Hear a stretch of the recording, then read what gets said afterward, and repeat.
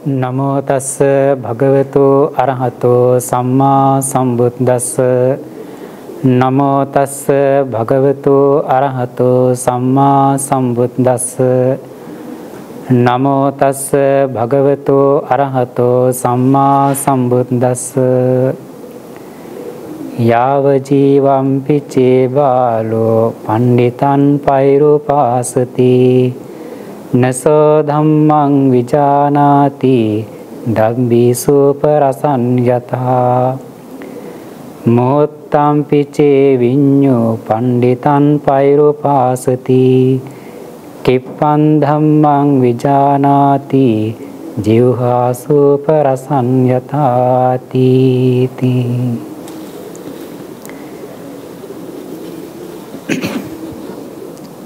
ශ්‍රද්ධාවන්ත පින්වත්නි තුන් ලෝකාග්‍ර වූ ඒ භාග්‍යවත් වූ අරිහත් වූ දසබරධාරී ਸਰවඥ සම්මා සම්බුදුරජාණන් වහන්සේ සවැත් නුවර ජේතවනාරාමේ වැඩ ඉන්න සමයක දේශනා කරන්නට යෙදුණු ඊට වටිනා කියන ධර්ම කාරණාවන් සමූහයක් සම්බන්ධයෙන් තමයි අද මේ පුරපසලසක් බොහෝ දිනයේදී පින්නතුන්ට පැහැදිලි කරලා දෙන්න අපි මාතෘකා කරන්නට දුනේ ධම්මපදයේ එන බාල වර්ගයේ ગાථා දෙකක් තමයි මාතෘකා වශයෙන් තිබේ. මේ ગાතාවෙන් කියවෙන සරල කාරණාව මේ ગાතය සරල අර්ථය තමයි මේ ලෝකේ යම් බාල පුද්ගලයෙක් ඉන්නවා නුවණින් අඩු කෙනෙක් ඉන්නවා. ඒ බාල පුද්ගලයා කොයිතරම් කාලයක් කොයිතරම් සමීපව පඬිතයන් වැසුරු කරත් ඒ කෙනායි ධර්මය තේරුම් ගන්න කෙනෙක් වෙන්නේ නැහැ. උපමාවක් පෙන්වා දෙනවා හරියට හැන්ද වගේ කියලා. අපි හැන්ද පාවිච්චි කරනවා හොද්ද සකස් කරනකොට හොදි හැඳි ගන්න. ඉතින් කොයිතරම් කාලයක් කොයිතරම් වෙලාවක් මේ හැන්ද හොද්ද දාලා තිබ්බත් හැන්දට රස තේරෙන්නේ නැහැ.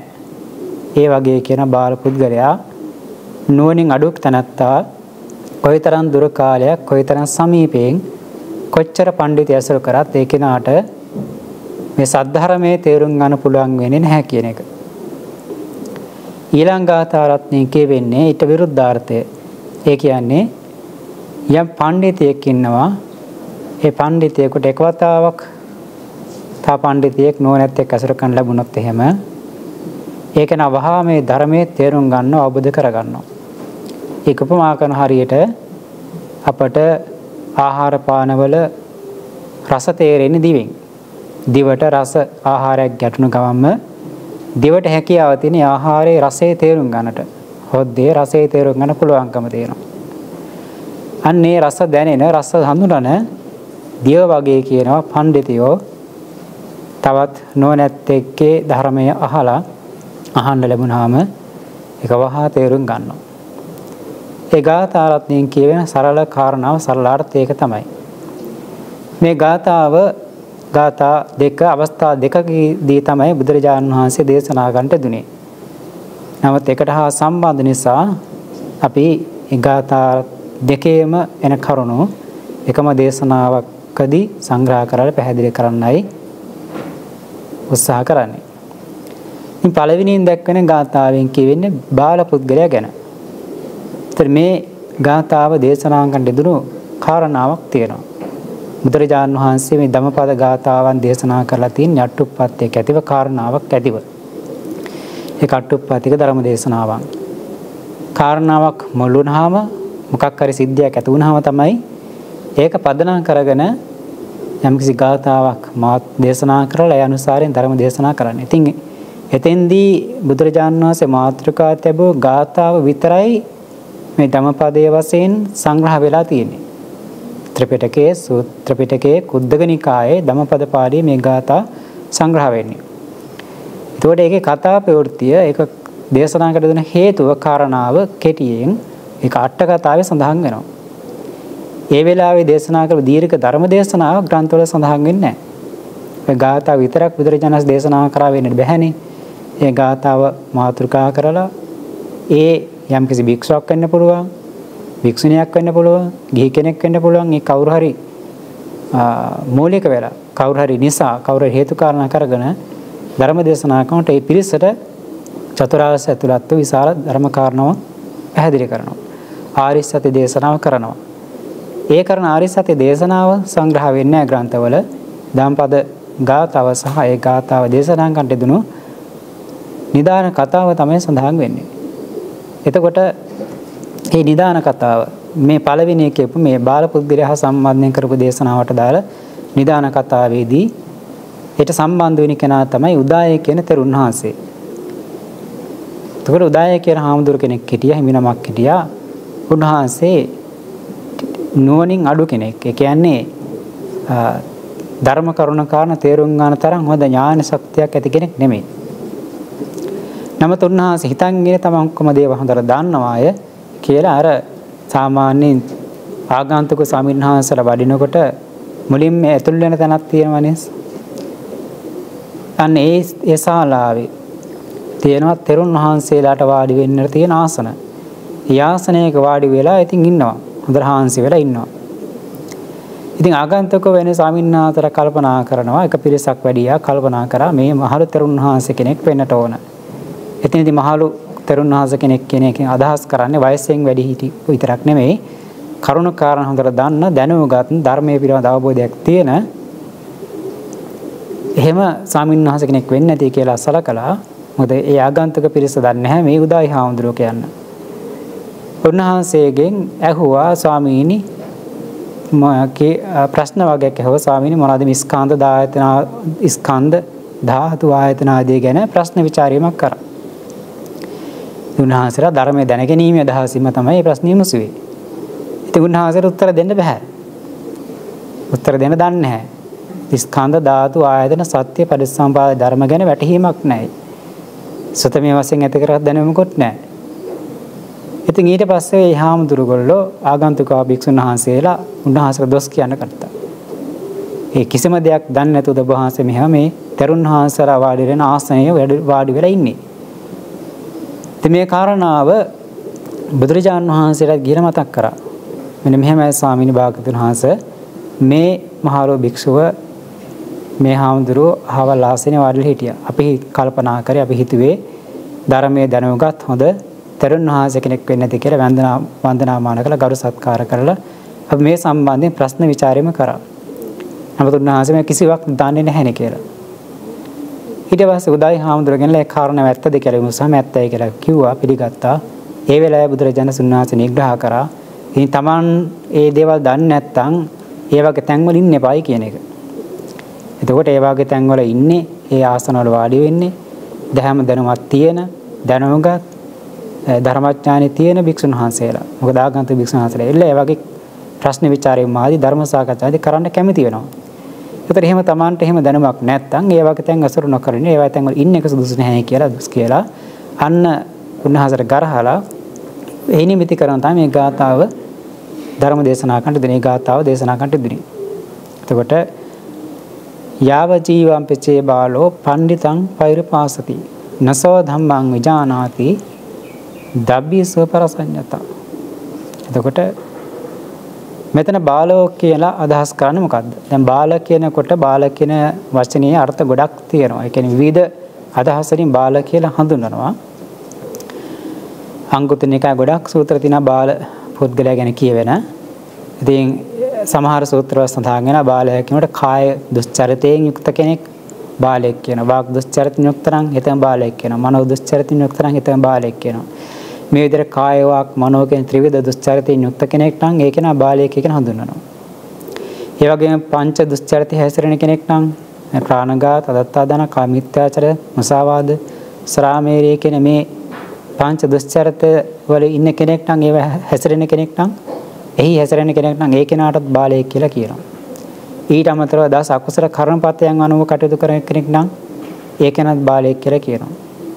ඒ වගේ নানা විදිහේ කෙලෙස් වලින් ආතුර වෙච්ච කෙලෙස් අනුව කටයුතු කරන ඒ පුද්ගලයන් බාලයන් ලෙස හඳුන්වනවා.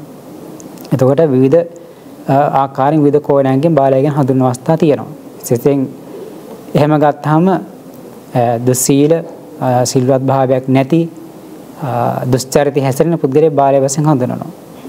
නමුත් මෙතෙන්දී ගත්තාම දැන් මුන්නහන්සේ ශාසනය පැවිදි වෙලා සීලයක් පූර්ණ කරන භික්ෂුවක්. ඒ නිසා උන්වහන්සේ පංච දුස්චරිතාති වෙන් වෙච්ච කෙනෙක්. පුළුවන් විදිහට කාය සුචරිතාදී පුරණ කෙනෙක්. නමුත් මෙතෙන්දී උන්වහන්සේට බාලයෙක් කියලා හඳුන්වනවා. හේතුව තමයි මේ කාරණාදී බාලයෙක් කියලා හඳුන්වලා තියෙන්නේ මිස්කන්ධ ධාතු ආයතන සත්‍ය පරිසම්පාදාදී මේ ගාම්භීර ධර්මයන් පිළිබඳව දැනුමක් නැත්නම් අවබෝධයක් නැත්නම් අනේ කෙනත් එතනදී බාලයෙක් කියලා හඳුන්වනවා. ඒතර මේ දේශනාවට අනුරූපව මේ දේශනට අනුගත් මේ දේශනාවට අනුව බාලයෙක් කියලා හඳුන්වලා තියෙන්නේ මෙන්න මේ විදිහේ මේ ස්කන්ධ ධාතු ආයතන සත්‍ය පරිසම්පාදාදී මේ ගාම්භීර ධර්මයන් විපස්සනාවට පාදක වන ධර්මයන් ගැන දැනුමක් නැති කෙනාට. එතකොට ඒක සොතේමේ වශයෙන් යම් කෙනෙකුට දැනුමක් තියෙන නේද ප්‍රමාණවත්. එහෙමත් දැනුමක් නැත්නම් ඒක නා බාලයකට සඳහනවා. එතකොට අර සුචරිතයේ යෙදුනා පමණකින් ප්‍රමාණවත් නැහැ. සුචරිතයේ යෙදෙන කෙනා ඒ දුස්චරිත භාවය මෙදිච්ච හින්දා පමණකින් එයා එයා ආකාරයෙන් බාලයක් වෙන්නේ නැහැ. නමුත් මෙතෙන්දී මෙන්න මේ ධර්මයන් පිළිබඳව ආර්ය සත්‍ය අවබෝධයට උපකාර වන විපස්සනාට භූමිය වන විපස්සනාට පාදක වන ස්කන්ධ ධාතු ආයතන ගැන සත්‍ය පරිසම්පාදාදිය ගැන අවබෝධයක් නැත්නම් සුතමි වශයෙන් හෝ ඇති කරගත දැනුමක් නැත්නම් අන්න ඒ අයට බාලයෙක් කියලා මෙතනදී හඳුන්වලා තියෙන්නේ. ඒතර එයා කොයිතරම් කාලයක් පඬිතෙන් ඇසුරු කරත් නිතර නිතර බණ ඇහුවත් දහම ඇහුවත් ඒක තමන්ගේ මතකේ රැඳෙන්නේ නැහැ. ඒක තේරුම් ගන්න බෑ අවබෝධ කරගන්න බෑ. ඒ විතරක් නෙමෙයි මේ තමයි කලියුත්ත මේක නොකලියුත්ත මේක කුසලය මේක අකුසලය මේක සාවද්දදී මේක අනවද්දදී මේක බහැර කලියුත්ත මේක වැඩි යුත්ත කියලා එහෙම අවබෝධයකුත් නැත්තම්. නේද එතකොට කුසලය අකුසලය ගැන වැටහීමක් නැත්තම්. සාවද්ද අනවද්ද කියන්නේ ඒකම තමයි. කලියුත්ත නොකලියුත්ත කලියුත්ත කියලා කියන්නේ කුසල මාර්ග වලින් එක නොකලියුත්ත අකුසලයන් ඒතර බහැර කලියුත්ත වැඩි යුත්ත බහැර කලියුත් දේ තමයි අකුසල වැඩි යුත් දේ තමයි කුසල මාර්ගය බෝධිපාක්ෂික ධර්ම මේවා ගැන වැටහිමකුත් නැත්තම් ඒකත් තේරෙන්නේ නැත්තම් ඒත් බාලික කියලා හඳුනනවා. ඒතර මෙන්න මේ ආකාරයට තමයි එතනදී බාලයෙක් කියලා කාරණා පැහැදිලි කරන්නේ. එහෙම නැතුව අර දුසිරිතේ නියලීම දස අකුසල කර්මයන් පතයන්ගේ නියලීම විතරක් නෙමෙයි. ඊට අමතරව මෙතනදී දැන් උන්වහන්සේ භික්ෂුවක් හින්දා ශාසනය පැවිදිලා ගුණයක් කරනවා යම් කිසි මට්ටමකින්. එනිසා උන්වහන්සේ දුසිරිතෙන් මිදිලා දස අකුසල කර්ම පතේ මිදිලා කටයුතු කරනවා ඇති. නමුත් උන්වහන්සේ මෙන්න මේ සාවත් ධනවාදී දේ පිළිබඳ කුසලයේ අකුසලයේ පිළිබඳව සුදු කල කර්ම පිළිබඳව කලියුත් නොකලියුත් පිළිබඳව වැඩි යුත් වැඩි යුත් පිළිබඳව මේ ගැන දැනුමක් නැත්තම් ඒ නිසා උන්වහන්සේ අවස්ථාවේ බාලයෙක් කියලා මුගදායි හාමුදුරන්ට හැඳුන්වුවේ. ඒ වගේම ස්කන්ධ ධාතු ආයතන සත්‍ය ආදී ගැන දැනුමක් නැති හින්දා. එහෙමනම් බාලයෙක් නොවෙන්නට නම් ඒ අර්ථයෙන් බාලයෙක් නොවෙන්නට නම් අපිට මේ ස්කන්ධ ධාතු ආයතන සත්‍ය පරිසම්පදාදී ගැන හොඳ දැනුමක් තියෙන්න ඕන අවබෝධයක් තියෙන්න ඕන. කල්යාණ මිත්‍ර ආශ්‍රයෙන් අහලා පොතපත කියවලා හෝ ඇති කරගත් සතමේ ඥානයක්වත් තියෙන්නට ඕන. ස්කන්ධ මොනවද? ආයතන මොනවද? ධාතු මොනවද? ඒ වගේ හේතුඵල සම්මත ඇති කරන විදිහ පරිසම්පාදා පරිසම්පාදේ ආරි සත්‍ය පිළිබඳව අහර දැනගත්ත සුතමේ ඥානයක්වත් තියෙන්නට ඕන. ඒ වගේම තමයි අපිට වැටහෙන්නට ඕන මේ දේ බහැර මේ මේ අකුසල්ය මේ වගේ විපාක මේ විදිහයි මේ කුසල්ය මෙහි විපාක මේ විදිහයි මේ දේ වැඩි යුතුයි මේ දේ බැහැර කළ යුතුයි මේ ආදි වශයෙන් දැනුමක් තියෙන්න ඕන. ඒකේ නාර තමයි ධර්ම මාර්ගය ඉස්සරහට යන්න පුළුවන්කම තියෙන්නේ. ඒ නිසා එහෙම දැනුමක් වැටහීමක් නැති නුවණක් නැති කිසිදු කරණ කාරණා කාරණාවන් වටහා ගැනීමේ නුවණක් නැති අනේ කෙනා මෙතෙන්දී බාලයෙක් කියලා හඳුන්වනවා. ඉතින් එයා කොච්චර කාලයක් පඬිතියෝ ඇසුරු කරත් කොයිතරම් පඬිතියෝ ඇසුරු කරත් දැන් මේ බුදුරජාණන් වහන්සේ ඉන්න ආරාමෙමයි වැඩි ඉන්නේ. එහෙම ඉඳලවත් නිතර බණහන් ලැබුණත් උන්වහන්සේට තේරෙන්නේ නැහැ, වැටහෙන්නේ නැහැ, අවබෝධ වෙන්නේ නැහැ. මනස රැඳෙන්නේ නැහැ. කරුණ තේරෙන්නේ නැහැ. හේතුව තමයි සසර පුරුදු කරපු නුවණක් නැතික. මේක සංසාර දෝෂයක් වෙන්න පුළුවන්. නේ, ಜಾති ප්‍රඥාව නැති වුනහම නේ, ಜಾතියෙන් උපතින් ලැබෙන්නා වූ ප්‍රඥාවක් තියෙන්න ඕනේ. අන්නේ ප්‍රඥාව නැති වුනහම මේ කෙනාට මේ දේවල් වටහා ගන්න බැරි වෙන්න පුළුවන්. සංසාරයේ ධර්මතා පූර්ණ කරලා දියුණු කරලා ඉගෙනගෙන නැති වුනහම වැටහෙන්න තියෙන්න පුළුවන්. එනිසා ඒක සංසාරක දෝෂයක් වෙන්නත් පුළුවන්. කොහොම හරි අන්නේ කරුණ වැටහෙන්නේ නැති කෙනා කොයිතරම් පඬිත අසුර ගත යට ඒවා වටහා ගන්න බෑ හරියට අර හොද්දට දාලා තියෙන හැන්දට රස දැනෙන්නේ නැහැ වගේ. අපි උදේ හවහ නිවෑංජන හදනකොට හොද්දක් හදනකොට ඕකට හැන්ද දාලා හැන්දෙන් තමයි කාල් ගන්න. ඊට මෙහෙර කලවම් කරන්නේ. ඉතින් හැන්ද කොච්චර දාලා තිබ්බත් මේ හැන්දට තේරෙන්නේ නැහනේ. දැන් මේ හොද්දට ලුණු තියෙනවා. ලුණු ඇති. දැන් මේක ඇඹුල් තියෙන ඇඹුල් ඇති. මේක කහට රසයි මේක තිත්ත රසයි. දැන් තිත්ත රස වැඩිය. මේවා සම කරන්න ඕන කියලා ඒ හැන්දට තේරෙන්නේ නැහැ. හැන්දට තේරෙන්නේ නැහැ. කොච්චර ලුණු මිරිස් දැම්මත් කොයිතරම් ඇඹුල් දැම්මත් මොනවද දැම්මත් හැන්දට තේරෙන්නේ නැහැ. නේද? ඒතර හැන්දේ මොකද අජීවී දෙයක්. හැන්දට චේතචෛසික නැහැනේ. ඒක අචේතනික දර අචේතනික රූපයක්. ඒතර ඒ වස්තුවට ඒ රස දෙන්නේ නැහැ වගේ තමයි මේ බාලක කෙනාට කොච්චර පඬිතිය අසුර කරත් අර ධර්මයන් ගැන වැටහීමක් ඇති වෙන්නේ අවබෝධයක් ඇති වෙන්නේ නැහැ. ඒවා ඉගෙන ගන්න පුළුවන් වෙන්නේ නැහැ කියනවා. ඉතින් අර සාමාන්‍යයෙන් ගත්තාම මෝඩය කියලා කියන්නේ කාරණාව වටහා ගන්න බැරි කාරණාන් වටහා ගන්න තරම් නුවණක් නැති මෝඩ පුද්ගලයෙක් ගැන තමයි මෙතන කියවෙන්නේ. ඊට පස්සේ ඊළඟ ගාථාවෙන් කියන්නේ ඒකේ විරුද්ධාර්ථය. විරුද්ධාර්ථය. මොහොත්තම් පිච්චේ විඤ්ඤෝ පණ්ඩිතන් පෛරුපාසති. කිප්පන් ධම්මං විජානාති ජීව ජීවහා සූපරසඤ්ඤතා. එතකොට පඬිත පුද්ගලෝ ඉන්නවා නුවණැත්තෝ ඉන්නවා සංසාරයේ ගුණධර්ම දියුණු කරපු වඩපෝතුම ඉන්නවා මේ ගුණධර්මයන් ඒ වෙනත් බුද්ධ ශාසන වල ඉන්න පුළුවන් ඒවා පහල ඉගෙනගෙන වඩපු පුද්ගලයෝ ඉන්නවා. සංසාරේ නුවණ දිනු කරපයි ඉන්නවා. ಜಾති ප්‍රඥා තියන ඉන්නවා. ඒ කට්ටියට මෙන්න මේ ධර්මය පොඩ්ඩක් අහන්න ලැබුණත් ඇති ඒක වටහා ගන්නවා අවබෝධ කර ගන්නවා. ඉතින් අවබෝධයත් දෙකක් වෙනවා. ඒක හරියට කියනවා දිවට පුළුවන්කම තියෙන පුංචි දෙයකින් ඒ රස හඳුන ගන්න. නේද? දැන් අම්මලා හොද හැඳි ගන්නකොට ඒක දැන් ඇඹුල් ඇතිද ලුණු මිරිස් ඇතිද කියලා දැනගන්න කරන්නේ හැන්දෙන් ඒක ටිකක් අරගෙන අතට අරගෙන ලෙව කාලා බලන එක දිවේ කාලා බලන එක. එතකොට මේ මුළු වෑංජනේ මුළු හොද්දම වර්ණ කන්න ඕනේ අවශ්‍ය නැහැ. ඒක චුට්ටක් තිබුණා නම් ඇති දිවට ඒක රසය හඳුන ගන්න.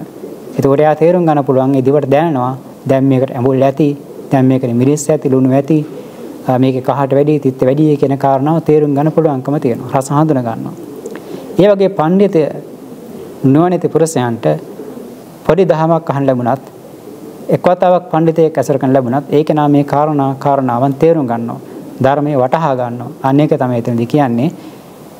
මේ පඬිත පුද්ගලයාට එකවතාවක් නුවණැත්තෙක් ඇසුර කරන ලැබුණා නම් ඒත් ඇති ඒක නා ධර්මයේ තේරුම් ගන්න වටහා ගන්නවා අවබෝධ කර ගන්නවා කියන එක. ඒ ගාථාවේ දේශනා කළ දුන හේතුවකුත් තියෙනවා කාරණාවකුත් තියෙනවා නිදානයක් තියෙනවා. ඒක තමයි පින්තුනි ඒත් බුදුරජාන් වහන්සේ සවැත්නුව ජේතවනාරාමයේ වැඩි ඉන්න සමයේ එක් අවස්ථාවකදී 30ක් පමණ 30ක් පමණ 30 දෙනෙක් ස්වාමීන් වහන්සේලා පැමිණියා. ඒ 30 දෙනෙක්ගේ ස්වාමීන් වහන්සේලා කණ්ඩායමක් ඇවිල්ලා මුනිම් ආනන්තරුන් වහන්සේ සම්මුඛලව බුදුරජාන් වහන්සේ බහැ දකින්න පුළුවන්ද? වන්දනාමාන කරන්න පුළුවන්ද කියලා. ඒ අවස්ථාවේ පුළුවන් විහාර වැඩි ඉන්නවා කිව්වම විහාරයට වැඩම කරා. බුදුරජාණන් වහන්සේ ගඳකේට වැඩියා. බුදුරජාණන් වහන්සේ මේ පැමිණි භික්ෂුන් වහන්සේලාගේ හේතු සම්පatti දැකලා උන්වහන්සේලාට ගැළපෙන ධර්මයක් දේශනා කරා. ඒ වෙලාවේ දේශනා කරපු ධර්මයේ තමයි අනමතග්ග සංයුත්තේන සූත්‍ර කීපයක් තමයි දේශනා කරේ. ඒ පිළිබඳ අනමතග්ග සංයුත්තේ අට කතාවේ සඳහන් වෙනවා. අනමත අනමතග්ග සංයුත්තේ කියලා කියන්නේ සංයුත්තේ නිකාය නිදහන වර්ගය නැත්නම් දෙවන ග්‍රන්ථයේන සංයුත්තයක්. ඒකේ තියෙන කියවෙන සසරේ ස්වභාවය පිළිබඳව. පිනතු නිතර මේ දේශනාව අහලා ඇති බොහෝ සෙන් අහලා ඇති අර අනමතග්ගයන් භික්ඛවේ සංසාර පුබ්බා කෝටින පඤ්ඤායති කියලා කියවෙන සූත්‍ර තියෙන්නේ. මේ සංසාරේ පූර්ව කෙරවලක් වෙන්නේ නැහැ. ඒ තරම් අති දීර්ඝයි මේ සංසාරේ තමන්ට මවෝනු පුද්ගලයන් මරණු අවස්ථාවල ඒ මවගේ වියෝවේ අඬන වැළපෙන පුද්ගලයන්ගේ ඇස් වලින් කැලු කඳුළු ගැලු කඳුළු මහා සමුද්‍රයේ ජලයට වඩා වැඩි කියලා ඒ වගේ ප්‍රී විප්‍රයෝග නිසා අඬන වැළපෙන අයගේ ඇස් වලින් ගලෝ කඳුළු ප්‍රමාණ සිව් මහා සමුද්‍ර ජලයට වැඩි කියලා මේ විදිහේ කරපු දේශනාවන් සමූහයක් තියෙනවා. ඒ සසරේ දීර්ඝ ස්වභාවය සසරේ නිස්සාර ස්වභාවය ගැන වටහා දෙන්නට කරපු දේශනා ගණනාවක් එතන තියෙන කහ සමාන දේශනාවක්. විවිධ ප්‍රමාණුසාරයෙන් බුදුරජාණන් වහන්සේ කරපු දේශනාවක්. අන්නේ සූත් ඒ අනමතක සම්නතින සූත්‍ර කීපයකින් ධර්ම දේශනා කරා උන්වහන්සේලා ධර්මය අවබෝධ කරගත්තා. ඒ පැමිණෙන අවස්ථාව වෙන මිටත් උන්වහන්සේ ඊට කලින් මුලින් බුදුරජාණන් වහන්සේ මුණ ගැහිලා ධර්මය අහලා සෝවාන් සකදාගාමි අනාගාමි කියන මාර්ගඵලයන් අධිගමනය කරගෙන තිබුණේ. රහත් වෙන්න විතරයි තිබුණේ. ඉතින් මේ දේශනාව අහනකොට උන්වහන්සේලා සියලු දෙනාව අරිහත්ත්වයටපත් වුණා අභිඥාලාභීව අභිඥා සහිතව අරිහත්ත්වයටපත් වුණා. අරිහත්ත්වයටපත් වෙලා අහසෙන් තමයි ඊට පස්සේ වැඩියේ. අහසෙන් වැඩම කරා. ආනන්තර උන්වහන්සේ ඉතින් එළියට වෙලා ඉඳලා උන්වහන්සේ ආගන්තුක සත්කාර සූදානම් කරලා බුදුරජාණන් වහන්සේ ළඟට ගිහිලා කියන ස්වාමීනි දැන් මීට ටික වෙලාවකට කලින් 30ක් පමණ පාවීයක භික්ෂුන් වහන්සේලා කණ්ඩායමක් ආවා නේද? උන්වහන්සේ පාවා නුවර තමයි වස් වසර හිටියේ. පාවා නුවර වාසය කරපින්ද පාවීයක භික්ෂුන් කියලා ප්‍රසිද්ධ වුණේ. වැඩියා නේද? කොයි උන්වහන්සේලා කියලා. ඊටසේ බුදුරජාණන් වහන්සේ පැහැදිලි කර ආනන්දේ උන්වහන්සේලා ධර්මය අවබෝධ කරගෙන මේ දැන් අහසින් වැඩම කරා කියලා. ස්වාමීන් එච්චරික්මනේ කොහොම ධර්මය අවබෝධ කරගත්ත කියලා කිව්වන් පස්සේ ඇහුවන් පස්සේ තමයි ඔන්න ගාතාව දේශනා කරේ. කියන පඬිත පුද්ගලයාට සුර මොහොතක් නුවණැත් එක්ක අසුරගෙන ලැබුණා නම් ඇති ඒ ධර්මය වටහා ගන්න අවබෝධ කරගන්නවා කියන එක. මේ ස්වාමීන් වහන්සේලා ගැන තව කතාවක් තියෙනවා. උන්වහන්සේලා මුලින්ම බුදුරජාණන් වහන්සේගෙන් ධර්ම ඇහුවේ ඒ අවස්ථාව තමයි පින්නතර මතක ඇති බුදුරජාණන් වහන්සේ අර පළවෙනි වස් කාලේ බරණැස් සිසිපතනේ වැඩේ ඉඳලා පස්වග මහණුන්ට ධර්ම දේශනා කරලා යසකර පුත්‍රයාට යසකර පුත්‍රගේ යාළුවන් හතර දෙනාටයි ඉදිරි 50 දෙනාට මේ ඔක්කොම ධර්ම දේශනා කරලා පළවෙනි වස් කාලයෙන් පස්සේ 60ක් පමණ තමන්ගේ ශ්‍රාවක සංඝ රත්නය ශ්‍රාවක මහරහතන් වහන්සේලා ධර්මචාරිකාව යොදවලා උන්වහන්සේත් ගයාස්තිරට වැඩම කරානේ.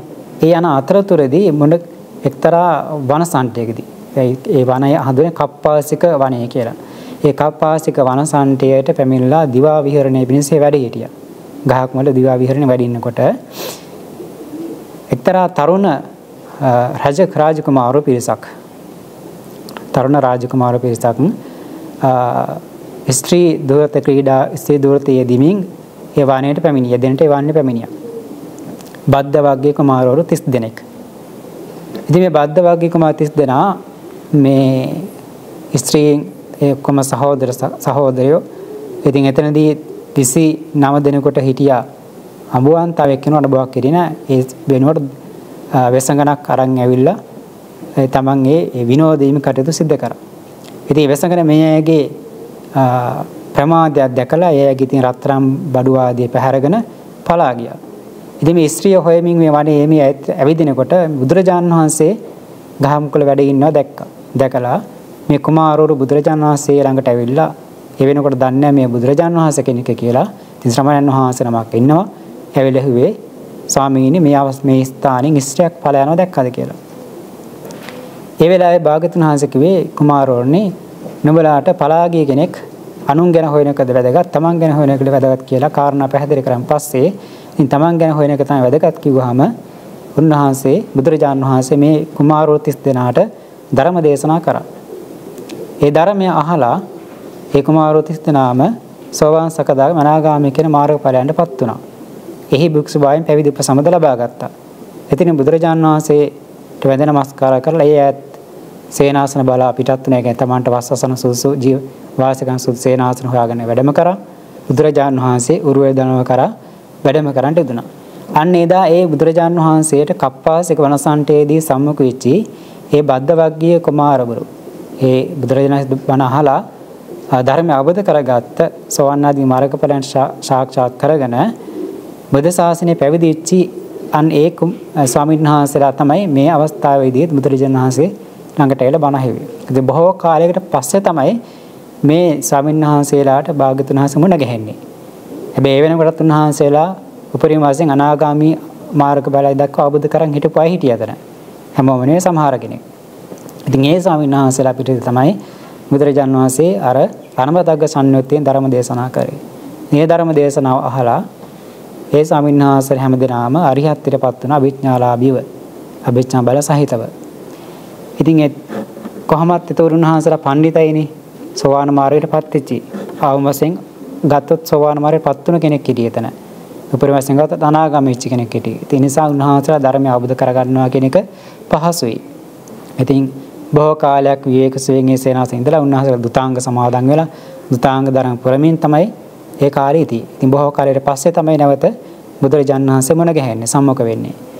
ඉතින් ඒ කාරණාවෙන් තමයි ඒක පැහැදිලි කරේ මේ විදිහට නොනැත්තන පඬිතියන්ට එක් අවස්ථාවක් නමුත් තව ඥානවන්තෙක් පඬිතෙක් මුණ ගැහුනොත් උන්වහන්සේ දේශනා කරන ඒ ධර්මය සත්පුරුෂ ධර්මය වටහා ගන්න අවබෝධ කරන්න පුළුවන්කම තියෙනවා. හරිස්කාන්ද ධාතු ආයතන සත්‍ය පරිසම්පාද ධර්ම ගැන වැටහීම තියෙනවා. ඉතින් ඒක මේ සමින්හාසලගේ මට්ටමන්න වෙන්න පුළුවන්.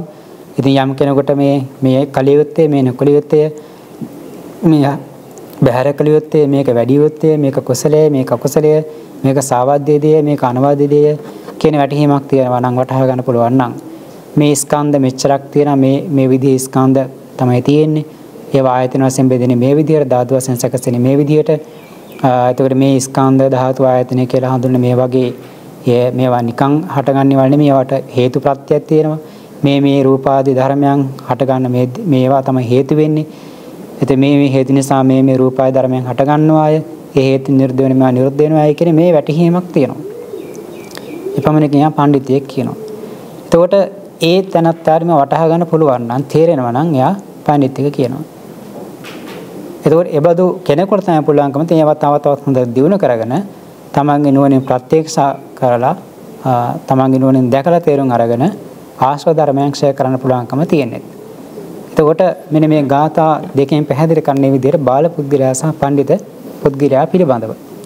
ඉතින් මෙතෙන්දී මේ සබ් භික්ෂුන් වහන්සේලා අතර කතා බහක් ඇති වුණා ආරාන්තරුන් වහන්සේට ඇහුවානේ ස්වාමීන් එච්චරික මිනික් කොහොමද මුන්නාහතර ධර්මයේ තේරුම් ගත්තේ කියලා වටහා ගත්තේ කියලා.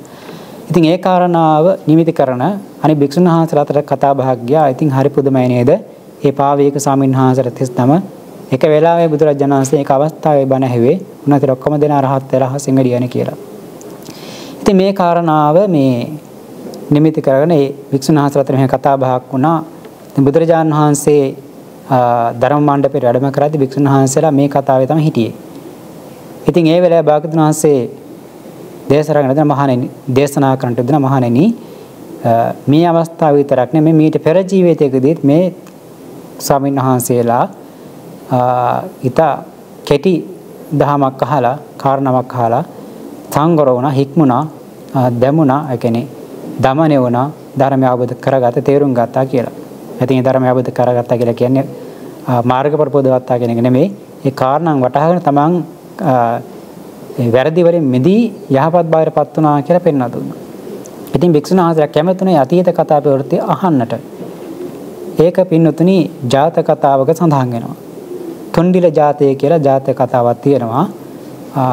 ජාතක පාල සීති වර්ගයේ සිති නිපාතේ අසුවිනි නිපාතේ න තුන්ඩිල ජාතය කියලා. මම කෙටියෙන් මතක් කරන්න මේ ජාතක කතාව පිළිබඳවත්. හිමීට බොහෝ පෙර අතීතයක බර්ණස් රජුරෝ රාජ්‍ය කරන කාලේ බරණැස බරණැස් රජු රාජ්‍ය කරන කාලයක එක්තරා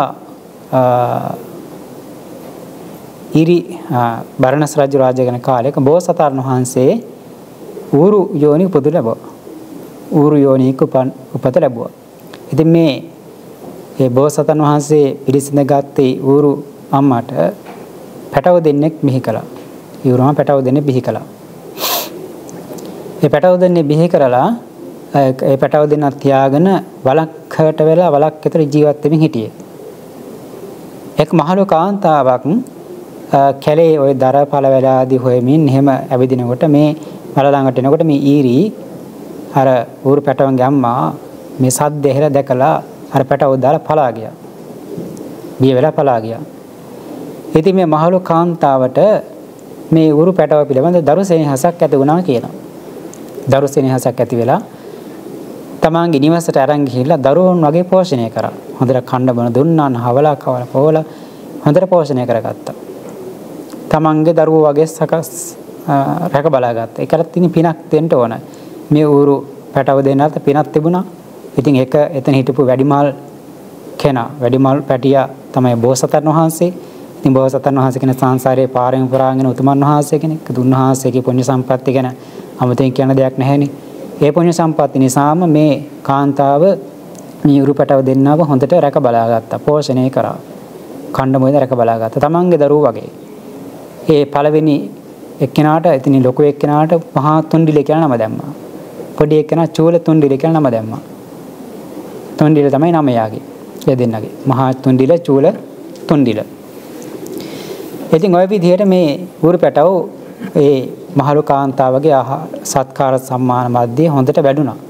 හොඳ ශරීරය ඇතිව තරබාරු වැඩුණා. ඌරෝ එහෙ විදිහට.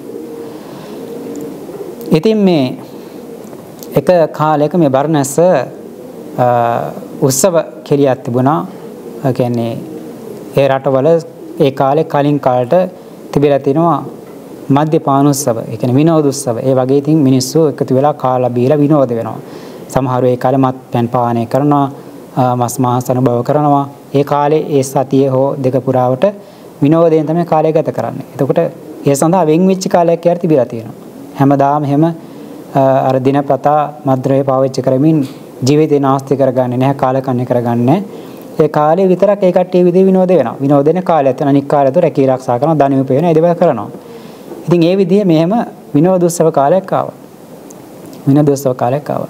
එන්නේ ඒ කාලය තුලත් මෙන්න මේ කියපු මේ බද්ද වග්ගික මාවරු 30 දෙනා. අර ස්වාමීන් වහන්සේලාම තමයි. ඒ කාලෙත් යාළුවෝ 30 දෙනෙක් විදිහට තමයි හිටියේ. යාළුවෝ 30 දෙනෙක් විදිහට හිටියා.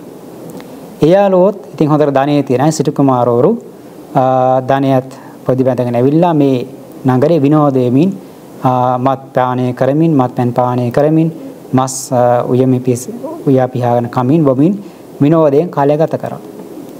ඉතින් මේ කට්ටියට දැන් ගෙනාව මස් ටික ඔක්කොම ඉවරයි. ලැබිච්ච මස් ටික ඔක්කොම දැන් අලුතෙන් මස් ඕන.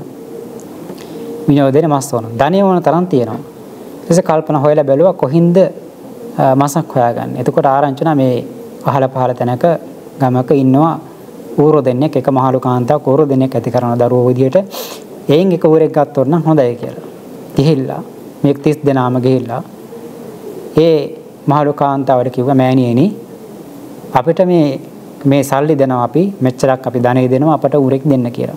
කිරේ හැම ඌරෝ දෙන්න බෑ මේ අය මගේ දරුවෝ වගේ. මේ මගේ දරුවෝ දෙන්න. මේ දෙන්නව එහෙම අසර දෙන්න බෑ. ඒ කිසියෙත් කරන්න බෑ. කොච්චර කරත් මම ඒක දෙන්නේ නැහැ. ඒක දෙන මුදල වැඩි කරා. ඒත් බෑ කිව්වා. එස කියනවා ඉතින් මිනිස්සුන්ට කොහෙද ඌර පැටව වෙන්නේ? මිනිස්සුන්ට කොහෙද ඌර දරුවෝ උනේ කවදා? එහෙම උන්නේ නැහනේ. ඒ නිසා ඔය ඌරෝ ඉන්නේ මාසට කන්නට. එහෙනම් අපට අපි ධනෙ දෙන්නම්. මේ ධනෙ අරන් ඔබ හොඳට ජීවත් වෙන්න අපට ඌරෙක් දෙන්න කියලා. ඒත් ප්‍රතික්ෂේප කරා. නෑ මේ කෙහෙ මේක කොහොමවත් කරන්නේ මම කුඩා කාලේ ඉඳන් මේ දෙන්න හදාග වඩාගත්තේ දරුවෝ විදිහට. ඒ මගේ දරුවෝ දෙන්න. ඒ දෙන්නම් මම දෙන්නේ නැහැ කියලා දෙඩිසේ කියා සිටියා. ඉතින් ඒ කාලේ මේ මිනිස්සු ඇත්තට මෙහෙම කාලා බීලා මත් පැන් පානය කළ විනෝදුනත් අර අධාර්මික කියන්නේ සොරකම් කිරීම ආදී කරේ නෑ. එයා සිටු පුත්‍රයෝනේ. ධනෙ තියෙන අර විනෝද වීම සඳහා තමයි මත් පැන් පානය කරන්නේ. නිකන් ජීවිතේ නැති නාස්ත කරන්න අදහසකින් නෙමෙයි. එමත් පැන් පානය කරන්නේ සාධාරණීකරණ නෙමෙයි. නමුත් ඒක ඒ කාලේ ඒ විදිහට කරලා තියෙනවා. එහෙම වුණා කියලා ඒ කට්ටිය අනවශ්‍ය විදිහට දුස්තිරත හැසිරීමක් අනුන්ගේ දේවල් කඩා වඩා ගැනීම හොරකම් කිරීමක් කරන්නේ. ඕනනම් ඒ අර තිබුණානේ ගිහිල්ලා හොරෙන් මේ උරෙක් අරන් එන්න. නමුත් එහෙම කරේ නෑ. බලහත්කාරයෙන් අරන් ආවෙත් නෑ. ධනෙ දීලා තමයි අරන් ආවේ. ධනෙ දෙනකොට ඒ ධනෙ දීලත් ප්‍රතික්ෂේප කරලා දේත් බලහත්කාරයෙන් ගත්තේ නැහැ. තර්ජනීය කරේ නැහැ. Taman ධනෙ දීලා Tamanට ඕන ධනෙ දීලා ඒ උරව ගන්නටයි. ඉතින් කැමති වුණේ නැහැ. ඊට පස්සේ කරේ මොකද්ද? කොහොම හරි අපි උපායක් කල්පනා කරන් දැන් අපිට මේ විනෝදින මස් ඕන කියලා ඊළඟ කරේ දේ තමයි ඒ වෙලාව ඒ කරපු දේ නම් එච්චර සුදුසු නැහැ. මේ මහලු කාන්තාවටත් මත්පැන් පානය කෙරුවා කොහොම හරි.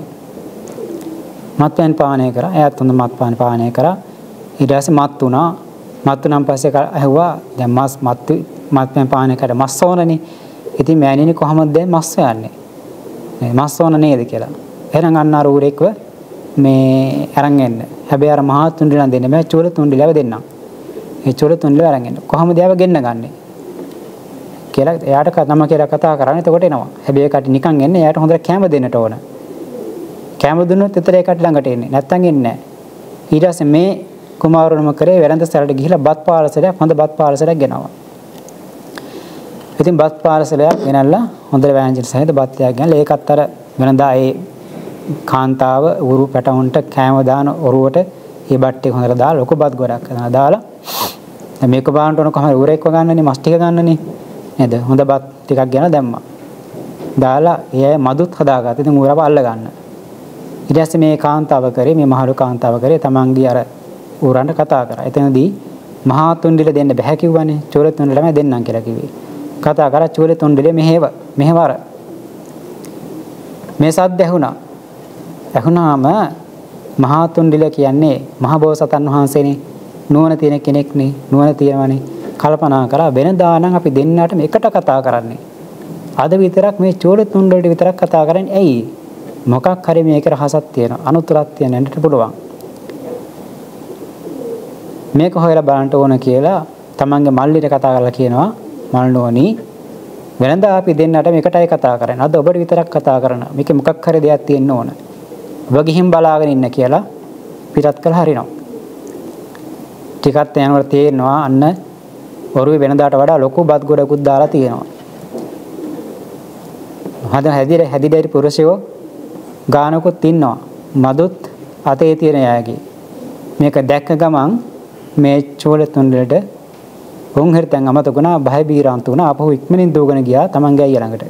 ගිහිලා කැරකෙන වටේ කැරකෙන එහෙ කැරකෙන මෙහෙ කැරකෙනවා. උතුරු දකුණ මාවලලා වගේ දසිද දිසාවන්තරයෙන් වගේ හැසිරෙනවා. මේ වෙලාවේ මහතුන් ලහන මොකද්ද? මාළනේ මොකද්ද? මේ දඟලන්නේ මේ කලබලලා මොකද්ද? එයාට කතා කරගන්නත් බැරි තරම් දැන් බය වෙලා කියනවා අයියේ මෙහෙමයි මෙහෙමයි ප්‍රශ්නේ. වෙනදා අපිට ඔය විදිහට සැලකුවේ නෑ. අද මහා බත් ගොඩක් ඔරෝක දාලා තියෙනවා.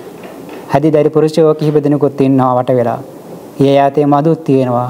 දැන් නම් අපේ ජීවිතය ඉවරයි. අපිට දැන් විනාශයෙන් තමයි තියෙන්නේ කියලා. ඒ වෙලාවේ මහා තුන්නේ කියනවා දැන් මේ මහලුකාන්ත අපි හදා වඩා ගන්න නැති නිකන් නෙමෙයිනේ. අපට කන්න බොන්න දෙන්න නැති පෝෂණය කරන නිකන් නෙමෙයිනේ. දැන් අපේ මවුට අපිව දැන් ඇති වෙලා. දැන් අපේ වෙන ප්‍රයෝජනත් බලාපොරොත්තු වෙන්නේ. දැන් අපි දින විදිහට පෝෂණය කර ඇති යාට. ඒ නිසා දැන් අපි මරණයට කැප වෙන්නට ඕන. අපිට දැන් මරණේ නියතයි. ඉගෙන හිත හදාගමු කියලා කාරණා පැහැදිලි කරා. මේකදී මේ චූලතුන්ඩලෙන් කලබල වුණානේ. යා එහෙ මෙහෙ කැරකෙන්න ගත්තා, දුවන්න ගත්තා, බිම පෙරලෙන්න ගත්තා, බය වෙලා. මේ කතාව දේශනා කරන්න දුණු තව පුංචි කතාවකුත් තියෙනවා. ඒක මට අමතකුණා කියන්න. අර අවස්ථාවේදී එක අවස්ථාවක එක භික්ෂුන් වහන්සේ නමක් හිටියා මේ නිතරම උන්වහන්සේ බය වෙන. ඒ කියන්නේ මේ සද්දයක් ඇහුණත් දණ්ඩක් කඩ වැටුණොත් සතෙක් කෑ ගැහුවත් බාහිරපත් වෙනවා. කියන්නේ මරන්න හැදෙනවා කියලා මරන්න මැරෙන්න යනවා කියලා කෑ ගහනවා. ඒ කියන්නේ යා හරියට මරණයට හොඳටම බයයි. චුටි සද්දයක් ඇහුණොත් සතෙක් කෑ ගැහුවත් එහෙම මොකක් හරි සද්දයක් ඇහුණොත් එයා කරන්නේ අර මරණ මරණයටපත් වෙන කෙනෙක් වගේ මරණ බයෙන් කෑ ගහනවා. සමහරට එහෙම දුවනවා, හැසිරෙනවා, අඬනවා. ඒ කියන්නේ එයා හරියට බයයි මරණයට. තැති ගන්නවා. අනික් අයට වඩා අතිශයින් මේ මරණය කියන සංඥාවේදී බියටපත් වෙනවා. මෙන්න මේ මේ භික්ෂුවක් එහෙම බුදුරජාණන් වහන්සේ කාලේ එහෙම භික්ෂුවක් හිටියා. ඒ භික්ෂුවගේ ස්වභාවය බුදුරජාණන් වහන්සේට පැහැදිලි කරන් පස්සේ දැන් මෙන්න මේ කාරණාව මතක් කරන්න මේ තුන්දෙර ජාතක මතක් කරන්න දේශනා කරන්න තිබුණේ. තුන්දෙර ජාති ජාතක දේශනාවට දෙන්න. ඒකට ඒකත් හේතු වුණා අර අර ස්වාමීන් වහන්සේලා එක්වන ධර්මය අවබෝධ කරගත කාරණාවත් හේතු වුණා. මේ දෙකම හේතු කාරණා කරන තමයි මේ කාරණාව දේශනා කරන්න දුන්නේ. එතකොට එදා ඒ අර මේ කාලේ අර මරණ සංඥාවක් ඇති වුණාම ඒ කියන්නේ සද්දයක් ඇහුණාම සතෙක් කෑගෙන වුණාවත් මරණ මරණත් බය ඇති වෙලා නිතරම අර කලබල වෙන දුවන එහෙම හැසිරෙන අඬන ඒ ස්වාමීන් වහන්සේ තමයි පෙර ජීවිතයක අර කලින් ආත්මේ ඌරු චූල තුණ්ඩෙල වල හිටියේ. ඌරු යුනි පිටලා චූල තුණ්ඩෙල වල හිටියේ. එදා අර ඇතිවිච්ච මරණ බය තමයි ඒ සංඥාව තමයි තාමත් මේ සසර ඒ පුරුද්දට ඇවිල්ලා තියෙන්නේ. එදා ඇතිවිච්ච මරණ බය තමයි බය නිසා තමයි අදත් මේ ජීවිතයේදීත් පුංචි දෙයකදී පුංචි හඬකදී පවා වෙනස් වීමකදී පවා මරණ බය ඇති වෙලා ඒ විදිහට වික්ෂිප්තව හැසිරෙන්නේ කියන එක බුදුරජාණන් වහන්සේ පැහැදිලි කරා. ඉතින් ඒ කාරණා මේ විදිහට වුණා. ඊට පස්සේ දැන් මොකද කරේ? මහා තුන්ඩිල කල්පනා කරා. උන්වහන්සේ මහා උන්වහන්සේ බෝසතන් වහන්සේනේ. මේ මහා තුන්ඩිල කියන බෝසතන් වහන්සේ. බෝසතන් වහන්සේ කල්පනා කරා දැන් මේ අවස්ථාවේදී මේ කටිය ධර්ම දේශනාවක් කරන්න ඕන කියලා එක් ගාතාවක් කියන්න කට ඒ කියන්නේ ශබ්ද නගර එක වාක්‍ය ප්‍රකාශ කර ගාතාවක් කිව්වා. මට ඒ ගාථා මේ අවස්ථාවේ මතක නැහැ. ඒ මහා තුන්ඩිල මුකේ විවර කරලා ඒ කාරණාව කියනකොට මේ ශබ්දය මුරු බරණැස්ස නගරේ පුරාම පැතිරලා ගියා කියනවා. බරණැස් නගරේ පුරාම හඬ පැතුරුණා කියනවා. බලන්න තිරසන් යෝනි පුදලා හිටපු කෙනෙක්. ඌරු යෝනි පුදලා හිටියේ. එතකොට ඒ ඌරියුනි උපන්න ඒ මහතුන්ට බෝසතන් වහන්සේ ඒ වචනය කියනකොට ඒ ශබ්දය මුළු බරණැසම පැතුරුණා කියනවා.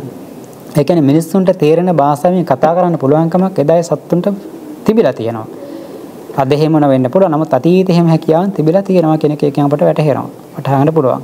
ඒක ජාත කට්ට කතා විවිධ පැහැදිලි කරලා තියෙනවා. පින්නතුරෝණ යටුව වරන් කියවලා බලන්න පුළුවන්. ඉතින් එතෙන්ට විශාල ජනකායකුත් රැස් වුණා. රජ්ජුරුව පවා ඒ අවස්ථාවේ රජ්ජුර ඇවිල්ලා මේ තේරුම් ගත්තා මෙයා කියන්නේ එසේ මෙසේ කාරණාවක් නෙමෙයි ගැඹුරු දහමක් කියන්නේ. ඉතින් ඒ කාලේ මිනිස්සු නුවණ ඥානවන්ත ඒ කියන්නේ කවුරු හෝ කියන්නේ යහපත් දෙයක් නම් සත්පුරුෂ දෙයක් නම් ඒ කියන කෙනා කවුද කෙනෙක් අදාළ වෙන්නේ නැහැ. ඒ කියන කෙනා මිනිස්සෙක් වෙන්න පුළුවන්, දෙවියෙක් වෙන්න පුළුවන්, තිරිසනෙක් වෙන්න පුළුවන්. නමුත් එයා කියන්නේ ධර්මයක් නම් යහපත් දෙයක් නම් ඒක අහන්නේ මිනිස්සු සදී පැහැදින්නවා. ඒක පිළිගන්න ඒගොල්ලෝ කැමතියි. නේද? ඔබ ඌරෙක්නේ ඌරෙක් වෙනවද මිනිස්සුන්ට බණ කියන්න කියලා ඒක නොසලක හැරියේ නැහැ. නේද? බෝසතන වහන්සේගේ පෙර ජීවිතවල තවත් තියෙන මේ කපුටු කුලේ ඉපදිලානේ. ඊට සිංහයෝ නිපදිලා මේ විදිහට මේ ජීවිතේ ඌරයෝ නිපදිලා විදිහට ධර්ම දේශනා කරා. ඉතින් ඒ රජ්ජුරුව බරණස් රජ්ජුරුව ඇවිල්ලා මුළු ප්‍රදේශයම සමතලා කරලා වැලි අතරවල භූමිය සකස් කරා මිනිස්සුන්ට ඉන්න. මිනිස්සු ගොඩාක් එක්රස් වුණා. ඊට පස්සේ මේ පාපයන්ගේ ආධිනා පෙන්වා දෙමින් මත්පැන් පානේ ආධිනා පෙන්වා දෙමින් පංච දුෂ්චරිතය ආධිනා පෙන්වා දෙමින් ධර්ම දේශනා කරා. ඒ අවස්ථාවේදී බොහෝ දෙනෙක් ධර්මය තේරුම් අරගෙන බොහෝ දෙනෙක් මේ පාපී ක්‍රියාවෙන් වැළකීලා සුචරිතේ පිහිටියා. එදා ඒ අර යාළුවෝ 30 දෙනාත් බද්ද වගේ කුමාරු 30 දෙනා එදා හිටියේ සිටු පුත්‍රයෝ 30 දෙනෙක් වෙලා ඒ 30 දෙනාත් තමන්ගේ ඒ ඒ බණ අහලා ඒ දුසිරිතෙන් වැළකුණා කියන අර වෙනදා කරපු මේ මත් පෑන් පානය කරි මස් කමින් විනෝද විච්චි දේවයෙන් වැළකුණා අර මේ බණ අහනකොට හැමදෙනාගේම වෙරි මතේ පවා සංසිඳුණා කියන වෙරි දුර වෙලා වෙරි සිඳිලා ගිහිල්ලා මේ කරුණ වටහා ගත්තා ඒ ඇත් පන්සිල් සමාදන් වෙලා සීලවන්ත භාවයටපත් වුණා කියලා සඳහන් කරනවා ඒ මහලු කාන්තාවත් ඒ වෙලාවේ මත්පැන් පාන හිටිය යාගෙත් වෙරි සිඳුණා කියනවා. ඉතින් මේ විදිහට බොහෝ දිනක් එදා මහා තුන්ඩිල ඒ බෝසතන වහන්සේ ඌරියුනේ පිළිලා හිටියේ. ඒ ඌරියුනේ පිළිලා ඉඳිමින් තමයි ධර්මයේ දේශනා කරේ. ඒ පාප ධර්මයන්ගේ ආධිනා පෙන්වා දුන්නේ. සීලය සමාදන් කෙරුවේ. එතුමාගෙන් ඒ ඌරියුනේ පානලා හිටපු බෝසතන වහන්සේගෙන් සීල් සමාදන් වෙලා ඒ සීලවන්ත පිරිස බාටපත් වුණා කියලා බුදුරජාන් වහන්සේ දේශනා කරා. ඉතින් එදා ඒ විදිහට බෝසතන වහන්සේ ඌරුවිනි පිදිලා නමුත් මේ මිනිස්යන්ට ධර්ම දේශනා කර ඒ මිනිස්සෙදත් ඒ කුමාරයෙදත් ඒ විදිහට ධර්මයේ තේරුම් ගත්තා වටහා ගත්තා තමන්ගේ වැරදි තේරුම් අරගෙන සුචිතවත් වුණා කියලා බුදුරජාණන් වහන්සේ පැහැදිලි කරා. ඉතින් බලන්න පින්නතුනි ඒ බෝසතන වහන්සේගේ තියෙන හැකියාව. ඔව් තිරසංගයෝ නිපිදිලා නමුත් මිනිස්යන්ට ධර්ම දේශනා කරා. මිනිස්සුත් ඒක පිළිගත්තා. ඒ කියන්නේ මිනිස්සු කල්පනා කරේ නැහැ මේ තිරසනෙක් නෙමෙයි තිරසන් වෙනිපන්න කෙනෙක් කොහොමද මිනිස්සුන්ට බණ කියන්නේ කියලා. නමුත් කියන කාරණාව ධර්මයක් නම් කියන කාරණාව සත්‍යයක් නම් කියන්නේ හොඳ දෙයක් නම් ඒ දී මිනිස්සු පිළිගත්තා. ඒ කියන එක නා තිරසනෙක්ද මිනිස්සෙක්ද දෙවියෙක්ද කාන්තාවද පුරුෂයෙක්ද තරුණ කෙනෙක්ද මහලු කෙනෙක්ද කියන කදාල වෙන්නේ නැහැ. ඒකයි පින්නතුණී නුවණැත්තන්ගේ ස්වභාවය. නුවණැත්තා බලන්නේ Tamante ඒ දහම ලැබෙන්නේ දහමක් නම් ලැබෙන්නේ යහපතක් නම් කියන්නේ සත්පුරුෂ දහමක් නම් කියන්නේ හොඳක් නම් කියන්නේ ඒ දේ ඒ අය පිළිගන්නවා. දුෂ්ප්‍රඥ අන්ධ බාල පුද්ගලයන්ගේ ස්වභාවය තමයි කෙනෙක් යහපතක් කියනකොට දහමක් කියනකොට ඒ දහමට ගරහනවා. කොහේ එනවද මට බණ කියන මටත් වඩා බාල කෙනෙක් කියලා එනවද මට කරුණ කියන්නේ කියලා ගරහන අය ඉන්නවා. එතන සමහර කෙනෙක් කල්පනා කරන වයසෙන් වැඩි හිටියා වැඩි වුණාම අපි තමයි ඔක්කොම දන්නේ අපි සියල්ල දන්නවා අපිට වඩා අපිට අනුශාසනා කණ්ඩාය කවුරුත් අවශ්‍ය නැහැ කියලා හිතන් ඉන්න පිරිසක් ඉන්නවා. නේද? එබඳු පිරිස දුෂ්පාඥ සමහරට වෙන වෙන ශාස්ත්‍රයන් පිළිබඳව දැනුම තියෙන අය පුළුවන්. දැනුගත්කම තියෙන පුළුවන්. නමුත් මේ ධහම පිළිබඳ වැටහීමක් නැත්තම් ධහම පිළිබඳ වැටහීමක් නැද ඒ කට්ටිය ඥානවන්තින්න ප්‍රඥාවන්තින්න කියලා කියන්න බෑ. ප්‍රඥාවන්තගේ ස්වභාවය තමයි Tamanට යහපතක් කියලා දෙන කවුරු හෝ ඉන්නවා නම් ඒක නාගෙන් ඒ දේ අහලා පිළි අරගෙන Tamanගේ ජීවිත අඩුපාඩු හදාගන්න ගතිය ස්වභාවය ඇගේ තියෙනවා. ඒක තමයි පඬිතියන්ගේ ගතිය පඬිතියන්ගේ ස්වභාවය. එහෙම නැති නමුත් වෙන බාහිර විවිධ ශේෂ්ත්‍රයන්හි දැනුමක් තිබුණත් ඒන් මාන්නය ඇති කරගත්ත උදම් ඔඩුඟ භාවයටපත් වුණ ඇතැම් පුද්ගලයෝ ඉතින් කවුරු හරි දහමක් කියනකොට සමහරට ඒ දහම කියන්නේ පොඩි ස්වාමින්වහන්ස කෙනෙක් වෙන්න පුළුවන් එහෙම නැත්නම් වෙන ගිහි කෙනෙක් වෙන්න පුළුවන්. ඒ කෙනාගේ තරාතිරම ගැන හිතලා ඒ කෙනාගේ ස්වභාවය ගැන හිතලා සමහරට ඒකට ගරහනවා නිඳා කරන අපහාස කරන පිළිගන්න කැමති වෙන්නේ ඒ පින්නොදෙනි බාල පුද්ගලයාගේ ලක්ෂණය. එපමණ තේරුම් ගන්න ඕනේ කෙනා බාල කෙනෙක් කියන එක. නමුත් ඥානවන්තයෝ පඬිතුයෝ එහෙම නෙමෙයි. Tamanට කියන දහමක් නම් ඇහෙන දහමක් නම් සත්පුරුෂ දෙයක් නම් කියන්නේ හිතේ ධාරණය කළ යුත්තක් නම් කියන්නේ දිනු කර ගන්න ඕන දහමක් නම් කියන්නේ ජීවිතේට එකතු කර ගන්න දෙයක් නම් කියන්නේ ඒ කියන කෙනා බාල කෙනෙක්ද මහලු කෙනෙක්ද ස්ත්‍රියක්ද පුරුෂයෙක්ද දුප්පතේද පොහසතේද කොලවන්තයේද කුලහීනෙක්ද තිරසං සතෙක්ද මිනිස්සෙක්ද දෙවියෙක්ද බ්‍රහ්මයේද කියන අදාළ වෙන්නේ නැහැ. ඒ කියන කාරණාව තේරුම් අරගෙන තමන්ගේ ජීවිතය එකතු කරගන්නවා. ඒ දේෙන් තමන්ගේ ජීවිතය හදා ගන්නවත් තමන්ගේ ජීවිත අඩුපාඩු සකස් කර ගන්නවත් අනේක තමයි පඬිතියන්ගේ ස්වභාවය. ඒ වගේ තමයි පඬිතුයෝ. නමුත් බාලපුද්ගලයා තමයි කොච්චර අර පඬිතු ඇසුර කරන ලැබුණත් පඬිතු කොච්චර ධර්ම දේශනා කරත් ඒකට ධර්මයේ තේරුම් ගන්න අර මේ හොද්දේ රස තේරෙන්නේ නැති හැන්ද වගේ. ඉතින් ඒ නිසා පින්නතුනි මේ කාරණෙන් අපිට තේරුම් ගන්න තියෙන්නේ අපි ලෝකේ ජීවත් වෙනකොට මේ වගේ පුද්ගලයෝ අපිට හඳුනා ගන්න පුළුවන්. ওই දෙපිරිසේම අය ඉන්නවා. බාල පුද්ගලයෝත් ඉන්නවා, පඬිතුයොත් ඉන්නවා. ඒ නිසා අපි පඬිත අය ඇසුර කරනා වගේම අපි පඬිතෙක් වෙන්න උත්සාහ කරන්න ඕන. නේද? කෙනෙක්ව කියන දහමක් නම් කෙනෙක් කියන දහමක් නම් යහපත් දෙයක් නම් අපි ඒ දේ පිළි අරගන්න අපේ ජීවිතය අඩුපාඩු හදා ගන්නට ඕන. එහෙම නැත්නම් අපිට පුළුවන් ඉන්නේ පඬිතෙක්ව වෙන්නට. එතකොට ඒ කෙනෙකුට කොච්චර කිව්වත් අහන්නේ නැත්නම් කොච්චර කිව්වත් යාට තේරෙන්නේ නැත්නම් අපිට වටහා ගන්න පුළුවන්. ඒක නා බාල පුද්ගලයෙක් යාට කරුණ කාරණා වටහා ගන්න තරම් දැනුමක් නැති අවබෝධයක් නැති සසර දියුණු කරු ප්‍රඥාවක් නැති පුද්ගලයෙක්. ඉතින් ඒ කෙනාට අනුකම්පා කරන්න සුදුසුයි. අනුකම්පා කරත් ඊයාට සංසාරේ දෝෂින්ද තේරෙන්නේ නැහැ. නමුත් ඒ කෙනාට පුළුවන්කම තියෙන ඉතින් පුළුවන් විදිහට කුසලයක් අරගෙන තමන්ට මත ජීවිතය හරි ප්‍රඥාවත් ජීවිතයක් ඇති කරගන්න මඟ දියුණු කරගන්න. ඒ නිසා ඉබදු ආකාරي උපකාරයක් කරන්න එක වැදගත් වෙනවා. ඒ නිසා අපි කවුරුත් අතහරින්න ඉවත් කරන්න සුදුසු වෙන්නේ එහෙම කෙනෙක් හිටියත් ඒ කෙනාට පුළුවන් විදිහකට දෙයක් කියලා දීලා කුසලයක සමාදන් කරවලා මතු ජීවිතය හරි යහපත් වෙන විදිහට ධර්මයේ හුරු කරවන්නට මඟ කියලා දෙන්න පුළුවන් නම් ඒක හොඳ සත්පුරුෂ දෙයක් වෙනවා. ඒ නිසා අපිට මේ ජීවිතයේ කටයුතු කරන මේ වගේ පුද්ගලයන් අසුර ගන්න ලැබෙනවා. ඉතින් අපි දැනගන්න ඕන මේ පුද්ගලයා ඒ විදිහට අසුර කරලා ජීවත් වෙන්නට.